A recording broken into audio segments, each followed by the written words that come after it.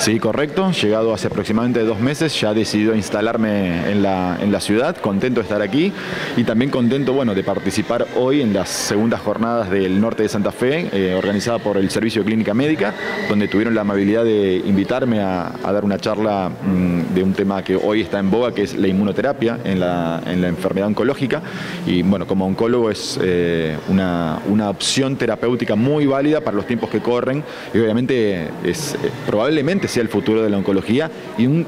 futuro cercano.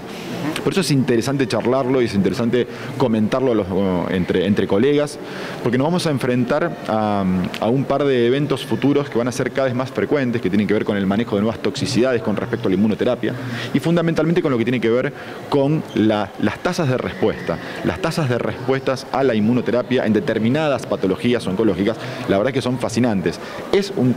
tema amplio, pero de, de extremo interés, fundamentalmente para los oncólogos, pero muy interesante para compartir con el resto de la comunidad clínica de la ciudad. Cuando usted habla de nuevas terapias, y usted sabe que esto va para público en general, a ver si nos puede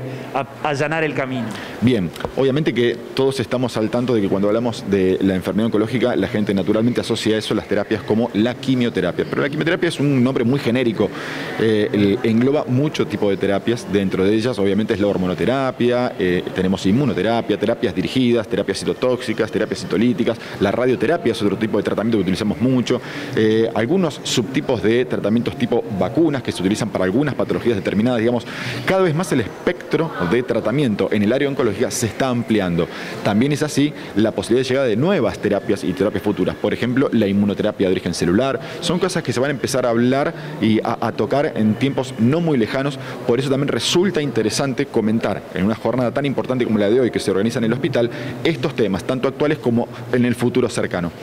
Doctor, y bueno, cuéntenos entonces su presencia, usted de, dónde está viniendo, ¿Va, a formar parte del plantel aquí del hospital. Actualmente estoy formando parte del plantel hospitalario, eh, formo parte del servicio de oncología clínica junto con la doctora eh, Ana Gabriel Orlando. Eh, entre los dos nos estamos encargando de la atención de pacientes y obviamente lo que es el manejo del servicio de quimioterapia de la, de la institución